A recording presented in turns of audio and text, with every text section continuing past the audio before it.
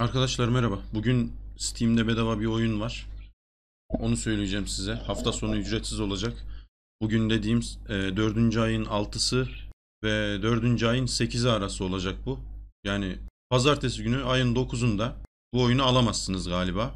Çünkü hafta sonu yazıyordu. Hafta sonu bedava oldu oyun. Tabi bu 2018. Onu da söyleyeyim. Sonra videoyu ileri tarihte izleyenler şey yapmasın. Oyun bedava değil falan bulamadım ne etmedim demesinler. Şimdi göstereyim. Oyunun adı Crusader Kings diye bir şey. Ha. Şurada çıktı ikinci şuradan. Basın gördüğünüz gibi ücretsiz yazıyor altında. Oyun 12 lira normalde. 12 lira da yani aslında iyi bir para. Şimdi bedava gördüğünüz gibi şuradaki butona tıklayıp bunu kütüphanenize ekleyebilirsiniz. Ben ekledim. Şöyle göstereyim. Şu an indirmeye başladım hatta. Oyun gayet güzel bir oyuna benziyordu. Aldım dayanamadım. Yani size de tavsiye ederim.